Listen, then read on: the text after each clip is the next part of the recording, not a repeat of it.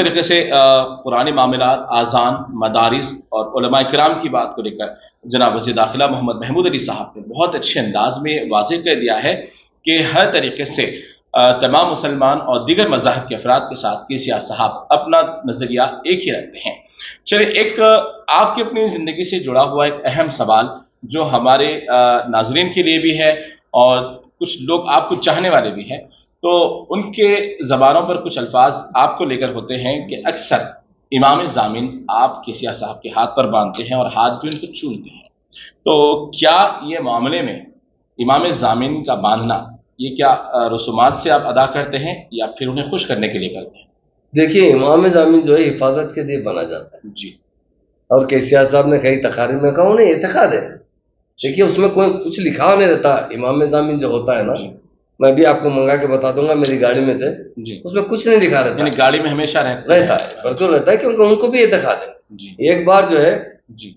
हमारे पंजाब पंजाब के chief minister और दिल्ली के चीफ मिनिस्टर। जी। सीएम साहब के घर पे थे तीनों मिलके जा रहे थे। जी। मैंने इमाम ज़मीन बना। तो दिल्ली के चीफ मिनिस्टर केजरीवाल ने सीएम साहब से पूछा क्या है? जी।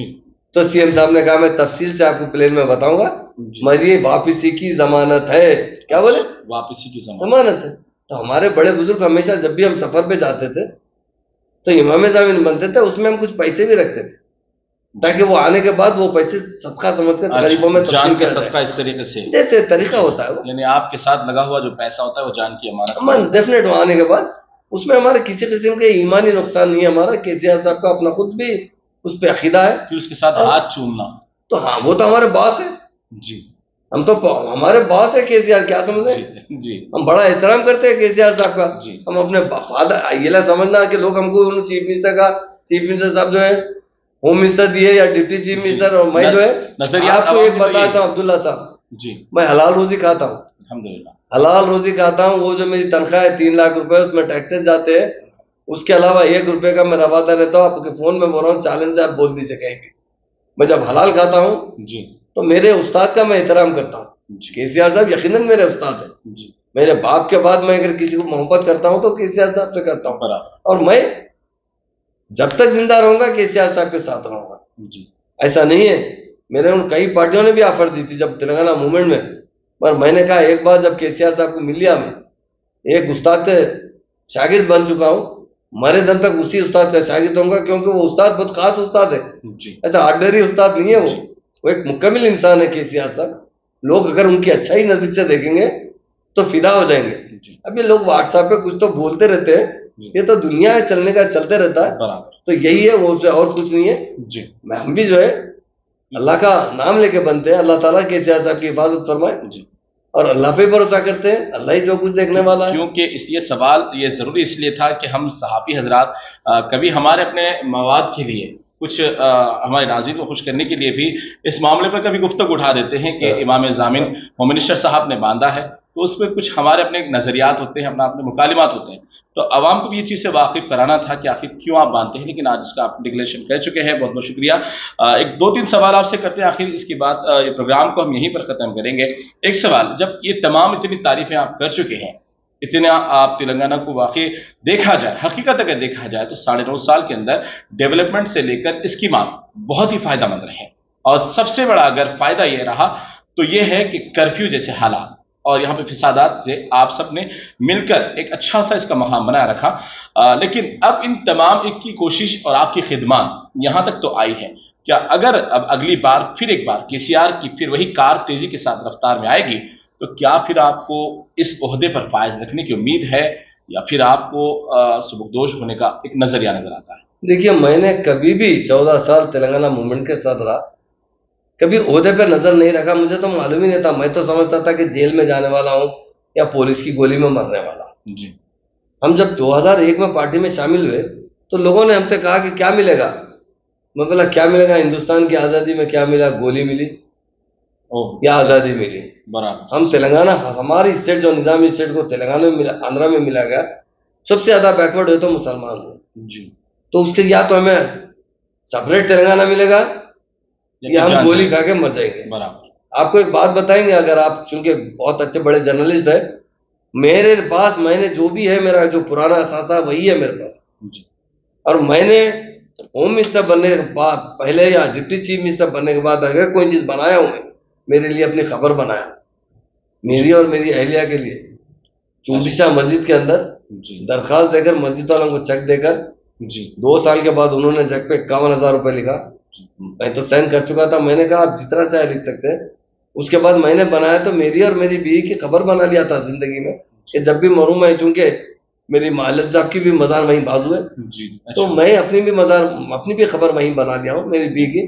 मैं ना कोई प्रॉपर्टी बनाया ना मुझे एक रुपया किराया था ना मेरे पास कोई प्रॉपर्टीज़ है ना मेरे पास आप कार जो है ना जो मेरी अपनी पर्सनल कार है वो भी 2012 की कार है। अच्छा। 2013 में मैं एमएलसी बना था तो एक साल पुरानी कार लिया था आज तक वही कार है मेरे पास। मैं क्या नहीं करा रेवेन्यू मिनिस्टर रहा आज होम मिनिस्टर रहा बहुत सादा रहता हूँ मैं बिल्कुल मामूली कपड़े पहनता हूँ पर एक बात ज़रूर आपसे कहता हूँ तेलंगाना बनने के बाद जो मुसलमानों को फ़ायदा पहुँचा है पिछले साठ साल पचास साठ साल पैंसठ साल में कभी नहीं पहुँचा। बराबर बात। आपका बजट बताता हूँ पिछले दस साल की बात कर रहा हूँ 2004 से 2014 तक कांग्रेस की हुकूमत थी। जी 2014 से 2023 तक बीआरएस की हुकूमत जी आप देखिए 2004 से 2014 तक जुमला एक हज़ार करोड़ भी खर्चा नहीं किया गया माइनॉरिटी डेवलपमेंट पर। और आज 2014 से लेकर 2023 तक दस हज़ार से चिल्लर दस हज़ार आठ सौ रुपये दस हज़ार आठ सौ करोड़ का खर्चा किया गया ये मामूली बात है। एक ही बात कई चीज़ इसमें नहीं आते। आसरा पेंशन है सारे मुसलमानों को दिया रहा है माइनॉरिटी डेवलपमेंट में सीएम साहब एक बात कहे जनरल स्कीम में तो सबको फ़ायदा पहुँचना चाहिए। जी। पर माइनॉरिटी स्कीम के अंदर दो बात बोलता हूँ आपको ज़्यादा नहीं। शादी मुबारक कभी कोई बोले नहीं थे।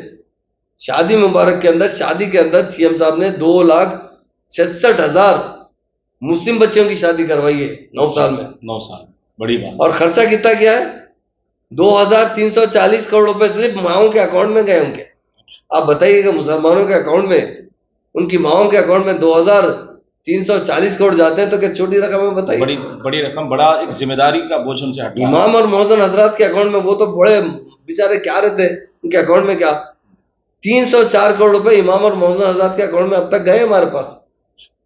ये हमारी तारीख है आपको ये मैं अकाउंट से बता रहा हूँ पूरा अकाउंट आप चेक कर सकते हैं। जितना फ़ायदा मुसलमानों को पहुँचा है रेजिडेंशियल स्कूल से हमारे बच्चे इस मरतबा ग्यारह बच्चे तो एमबीबीएस में दाखिला लिए। जी हाँ देखा है। एक सौ चिल्लर बच्चे एक सौ तिरपन बच्चे तो बीडीएस में दाखिला लिए। वन थाउज़ेंड फाइव हंड्रेड बच्चे इंजीनियरिंग में दाखिला लिए।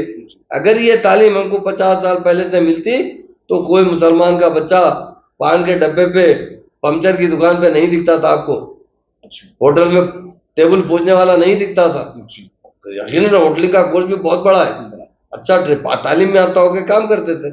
आज गुर्बत की निचली सतह पे ज़िंदगी गुजारने वाली कौन सी काम है आप देख लीजिए। एसटी गरीब नहीं है। एसटी गरीब नहीं है गरीब है तो मुसलमान है। जो। माशी हाल से तंग है आप देहातों में हम जाते हैं। इंटीरियर हम जाते हैं इलेक्शन के टाइम। हम जब गरीब से देखते हैं मुसलमानों को हमारे आँख में खून के आँसू आ जाते हैं क्या ज़िंदगी इनकी? क्या तकलीफ़ में? है? अगर पहले से मौका मिलता होता काम करने का तो बहुत कुछ काम किए होते थे। हमें तो सिर्फ़ नौ साल का साढ़े नौ साल का मौका मिला है। हमें आगे चालीस आगे और बहुत मौका मिलेगा। मैं और एक बात बताना चाहता हूँ। ये कांग्रेस जो कह रही है ना ये कर्नाटक कर्नाटक अगर मैं भी कर्नाटक जाता ना सही भी कांग्रेस को वोट डालो बोल के आता था। कर्नाटक में जाने अगर मैं जाता कर्नाटक में जी। इलेक्शन के टाइम पे जाता जी। तो डेफिनेट कांग्रेस को वोट डालो बोलता था क्योंकि बहुत बड़ा जुल्म था वहाँ पे मुसलमानों। जी। मरकजी सरकार का वहाँ पर जुल्म होने की वजह से आप ये अनाउंसमेंट कर सकते थे डेफिनेट अगर कर्नाटक में यहाँ तो कांग्रेस कभी नहीं कर सकी उससे अच्छा हुकूमत तो केसीआर साहब कर रहे हैं। जी।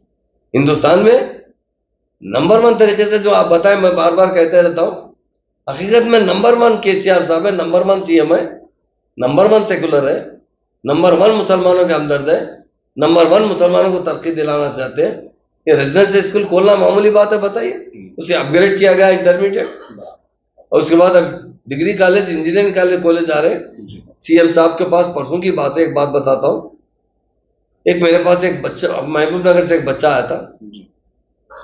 वो बच्चा आके बोला कि मैं बहुत गरीब हूँ साहब तो बताइए कहाँ पढ़ते थे आप तो टेमरिज में पढ़ा। क्या चाहिए आप? तो बोले नहीं मुझे पायलट का दाखिला मिला है। पायलट बनने के लिए कॉलेज के अंदर जो बेगमपेट में कॉलेज है। तो क्या परेशानी है? तो बोले फ़ीस पैंतीस लाख है। हमारे बाप तो मजदूरी का काम करते हैं। मुझे शौक है पायलट बनने का। मैंने कहा ठहरिए हमारे सीएम साहब आदिम ताई है। एक बार जाके हमसे ज़िक्र करेंगे। मैं जब जाके सीएम साहब से ज़िक्र करा तो बोले महमूद भाई एक बच्चा भरे आप। एक हज़ार बच्चों की फ़ीस मैं भरूँगा। क्या जितने टेमरीज में बच्चे पढ़े हैं वो जितनी आला तालीम हासिल करेंगे बहुत पूरे का पूरा खर्चा हुकूमत बर्दाश्त करेगी मैं बर्दाश्त रियासत का नाम रोशन होगा। ये गरीब बच्चे हैं गरीब बच्चे इनके बच्चे किसके हैं वो? वो पंचर बनाने वालों के बच्चे पढ़े रक्षा चलाने वालों के बच्चे पढ़े ऑटो चलाने वाले के बच्चे पढ़े जो लोग छोटा मोटा मजदूरी का काम करते हैं उनके बच्चे पढ़े उनको आगे बढ़ाने के लिए सीएम साहब का जो जहन है। जी। और एक, एक छोटी बात बताता हूँ आपको ओवरसेज स्कॉलरशिप। जी हाँ ये भी बड़ा आप बताइए हमारी स्टेट के अंदर तीन हज़ार तीन सौ बच्चे अमेरिका, ऑस्ट्रेलिया में पढ़े तेलंगाना बनने के बाद। इतनी अच्छी स्कीम है जिसमें एक बच्चे को बीस लाख रुपए दिए जाते हैं। वो नॉन रिफंडेबल है सीएम साहब से मैं बैठा था, हमारे ऑफिसरों ने कहा, साहब, ये बहुत बड़ी रकम है। इंस्टॉलमेंट में वापिस लेंगे तो बेहतर होगा। सीएम साहब ने क्या कहा? मेरे बेटे के टी रामाराव को मैं अमेरिका पढ़ाया। मेरी बेटी कविता को मैं अमेरिका पढ़ा। मैंने कभी एक पैसे की उम्मीद नहीं की। ये गरीब बच्चों से उनके माँ बाप गरीब है। मैं किस तरह वापिस ले सकता हूँ? ये ग्रैंड है। हमें कोई वापस लेने की ज़रूरत नहीं। हम ये गुजारिश करेंगे और जब बच्चे बड़े हो जाएँगे काबिल बन जाएँगे तो अपने खानदान की किफालत कर लिया तो बहुत बेहतर अच्छी बात। ये सीएम साहब की सोच है। लेकिन एक दो सवाल यहाँ पर कर लेते हैं। जैसा कि रियासत के अंदर अब आपका गठबंधन मजलिस इतिहाद मुस्लिमीन के साथ बना हुआ है। तब देखा गया है तो एक दूसरे की पार्टी सबकत हासिल करने के लिए भरपूर कोशिश करेगी। लेकिन इस बार मामू भांजे की सियासत पर बात चल रही है। तो क्या इस बारे में कहेंगे? सर देखिए मल्लिस से हमारा कोई अलाइंस नहीं है। जी। आपको कौन बता दिया मल्लिस से अलाइंस हमारे दोस्त है। जी। हम भी लड़े चांदनार से हम भी लड़े। जी। से अकबर साहब भी लड़े हम भी लड़े। जी हाँ। कैसा दोस्ती है बताइए? हम बिगड़ा थोड़े ही थे। दिए। तेलंगाना मूवमेंट में वो हमारे साथ नहीं थे चौदह साल। तेलंगाना बनने के बाद असद साहब ने कहा कि हम तिरसठ सीट जीते थे। कोई भी दो चार एमएलए खरीदे तो हमारी हुकूमत को खतरा हो सकता था। बड़ा उन्होंने साथ देने का पेशकश किया सीएम साहब ने उसे कबूल किया और उसके बाद हमारे साथ चल रहे हैं। और बहुत से चीज़ों में हमारे साथ जब जब कोई मसाइल पैदा होते हैं वो मदद भी करते हैं। और हम भी उनके एरिया में आप देखिए ओल्ड सिटी कैसी हो सकी गोल्ड सिटी की तरह बन रही है। जी। मूसा मूसी बन जाने दीजिए। उसके बाद ओल्ड सिटी की खतर ओल्ड सिटी की आवाम तो कुछ नाराज़ लगा नज़र आती है क्योंकि जो डेवलपमेंट आपके न्यू सिटी के इलाकों में हुआ जैसे हाईटेक सिटी गच्ची बौली इधर साइड जो हुआ पुराने शहर के कई इलाके अभी भी ऐसे ही मुतासिर हैं। डेफिनेट आगे हम अभी प्लान करेंगे क्योंकि पुराने शहर में थिक पॉपुलेशन जी। अगर मास्टर प्लान लाया जाएगा बहुत से लोगों को मुश्किल हो जाएगी। हम हम चाहते हैं कि पुराने शहर में भी हाई रेंज बिल्डिंग बनेंगे। जी। आप मूसी के लिए सीएम साहब का प्लान कितना है मानो जी। पचहत्तर हज़ार करोड़ से एक लाख करोड़ का प्लान है उनका। अगर एक बार मूसी बन जाएगी ना मूसी की साइड से जो कॉम्प्लेक्सेस बनेंगे और मुसलमान उसमें शीट होने लगेंगे और ओल्ड सिटी को डेवलप किया जाएगा मास्टर प्लान लाया जाएगा ताकि मुस्लिम भाई को तकलीफ़ ना हो। क्योंकि मुसलमान बहुत गरीब है। इसलिए उतना ज़्यादा वहाँ पर उन्होंने कोई चीज़ के लिए डरते हैं कि मेरा मकान टूट गया तो बनने में कितने बरस लग जाएँगे। कहाँ से किराया दूँगा? हम डेफिनेट ओल्ड सिटी को भी आपसे वादा कर रहा हूँ मैं गोल्ड सिटी बनाने का हमारा प्लान है। आप देखेंगे हम और दस साल हुकूमत करेंगे। तो हर तरीके से ओल्ड सिटी को डेवलप करेंगे। असद भाई का ताउन ज़रूर रहता है हमारे साथ। और डेफिनेट हर जगह जहाँ अमन की बात रहती है हम उनसे भी बात करते हैं। वो अमन कायम रखने के लिए उनका भी साथ लेते हैं। तो ऐसा आप जैसा बता रहे हैं कि हमारे उनके अलायंस में हमारे को कोई अलायंस नहीं है। ये फ्रेंडली फ्रेंड जिसका आप बताए ना पुलिस फ्रेंडली है। हम भी फ्रेंडली है उनसे। उतना ही है उनके साथ कोई अलायंस की नहीं है। एक एक बड़ा सवाल हाँ। बहुत बड़ा सवाल जो अब अवाम के दरमियान वोट काटने के लिए किया जा रहा है या ये हकीकत भी है इस पर आपको इस बात का वाजह तौर पर बताना होगा कि 2024 में बीआरएस जब इकतदार में आएगी तो ज़रूर ये बीजेपी का साथ देगी। ये इस बात की अफवाहें हैं या ये हकीकत है? अब्दुल्ला साहब एक बात पूछना चाहता हूँ। जी। 2014 में टीआरएस पार्टी थी बाद में 2018 के बाद बीआरएस पार्टी बनी। एक बार भी हम उनका साथ दिए नहीं दिए। हमारा सेंट्रल स्टेट का ताल्लुकात ऐसा होता है कुछ तो कुछ मेंटेन करते हैं मगर कभी कोई बिल के बारे में जो बराबर नॉर्मल बिल रहता है उसमें थोड़ा सपोर्ट करें। मगर हम आपको जिस तरह कहे ना हमारी गर्दन कटेगी तो अजा नहीं रुकेगी। आपसे वायदा करते हैं आपके सामने हमारी पार्टी की तरफ़ से। हम मरने पर भी कभी बीजेपी पार्टी से या कोई फिरका पर उस पार्टी से अलाइज करें। जी। तो बैरकैफ इस तरीके से आज वजी दाखिला जनाब मोहम्मद महमूद अली साहब से जो भी हमने सवाल किया, वो बड़ी आसानी के साथ और मोहब्बत के साथ उसका बहुत ही पूरा अंदाज में जवाब दिया। मैं आज के खास मुलाकात प्रोग्राम में, मैं जिस तरीके से भी इतना जो वक्त दिया गया, बहुत उनका शुक्रिया अदा करूँगा और उम्मीद करता हूँ कि जिस तरीके से मुसलमानों की एक सोच है, मुसलमानों का एक जो भरोसा है बीआरएस आने के बाद फिर वही अमन शांति यहाँ पर बरकरार रहेगी और मुसलमानों को और हिंदुओं को एक ही नज़र से लेकर चला जाएगा और इस तरीके से आने वाले वक्त में मुसलमानों को नज़रअंदाज नहीं किया जाएगा और भी दीगर स्कीमात है, उस पर अमल पैराई होगी। और दो जो सवाल रहेंगे हमारे आने वाले वक्त में, एक और आला लीडर से, यानी के टी आर साहब से या के सी आर साहब से ज़रूर हासिल करेंगे, वो है बारह फ़ीसद तहफात और मसाजिद की शहादत पर। वो बड़ा मसला है, क्योंकि हमारे अपने कमेंट्स के में जो भी हमसे सवाल करते हैं तो ये दो मुद्दों पर सवाल करते हैं। इसका भी हम डिक्लेरेशन ज़रूर बीआरएस के तमाम आला जिम्मेदारों से लेंगे। लेकिन आज की खास मुलाकात बड़ी कामयाब रही वजी दाखिला के साथ, और वजी दाखिला यही कोशिश करेंगे कि आने वाले वक्त में चाहे वो अहदे पर रहें या ना रहें, लेकिन हमेशा वो बी सरकार का साथ देते आए हैं और साथ देते रहेंगे। आखिर में आप आवाम से क्या गुजारिश करेंगे? अवाम से तो यही गुजारिश करूँगा क्योंकि मैं भी एक मुसलमान हूँ। मुस्लिम भाइयों से बहना कहना चाहता हूँ आप जो भी वोट का इस्तेमाल सोच समझ के कीजिए। आपके पास पिछली हुकूमतों का भी रिकॉर्ड है और प्रेजेंट हुकूमत का भी आपके पास रिकॉर्ड है डेवलपमेंट के बारे में अमन के बारे में। बीआरएस पार्टी जो पार्टी है ये सिर्फ़ तेलंगाना के लिए बनी तो पार्टी और तेलंगाना आवाम के लिए तो बनी तो पार्टी। आप कर्नाटक, महाराष्ट्र, जिधर अदर स्टेट से इसका एग्ज़ाम्पल मत लीजिए। तेलंगाना का हर मुसलमान का फ़र्ज़ है। मैं तमाम उलमाओं से भी गुजारिश करता हूँ। दीन अगर कहीं आगे बढ़ेगी फैलेगा तो वो तेलंगाना स्टेट में फैलेगा। तेलंगाना स्टेट मरकज बनेगा सारे, आज भी है, कल भी मरकज बनेगा सारी दुनिया में, यहाँ से क्यादत होगी। अभी देखिए, एक महीने के बाद यहाँ बहुत बड़ा इज्तम भी हो इसमें करोड़ों लोग आ रहे हैं। हुकूमत हमेशा यही चाहते कि मुसलमानों को मुकम्मल तरीके से आज़ादी मिले। मुकम्मल तरीके से वो बाइज़त तरीके से स्टेट में जिए। और हमेशा अमन और सुकून से जिए और तरक्की की तरफ़ जाए। मुझे अल्लाह से उम्मीद है, हमारे उलमाओं की दुआ है हमारे साथ। डेफिनेट हमारी स्टेट अगर सारे हिंदुस्तान के अदर स्टेट से आप कंपेयर करेंगे, सबसे बेस्ट स्टेट है, सबसे अच्छी स्टेट है, सबसे पुरमन स्टेट है। सबसे डेवलपमेंट में आगे बढ़ने वाली स्टेट है। आवाम को एक साथ एक नज़रिए से देखने वाला कोई लीडर है वो केसीआर साहब है और केटीआर साहब है। मैं इसलिए आवाम से भी अपील करना चाहता हूँ। अभी हम सिर्फ़ नौ साल साढ़े नौ साल ही हुकूमत की है पूरे मुकम्मल नहीं किए। इतनी तरक्की लाए इतनी तरक्की लाए। हर शोबे हयात में कोई ऐसी बात नहीं आज पावर सरप्लेस है ड्रिंकिंग वाटर घर घर पीने का पानी मिल रहा है। लैंड ऑर्डर नंबर वन है, फार्मर्स का प्रोडक्शन नंबर वन है, हर शोबे हयात में। जहाँ पूरे बैकवर्ड थे 2014 से पहले हर शोबे हयात में बैकवर्ड थे। हर शोबे हयात में हम फॉरवर्ड हो चुके हैं। तो मैं तमाम से मेरी अपील है कि इनकी उनके बातों में मत आइए। ये लोग बोलते कुछ है, करते कुछ नहीं आप ऑलरेडी देख चुके हैं। हमारे बड़ों ने हमें हमेशा नसीहत करते थे।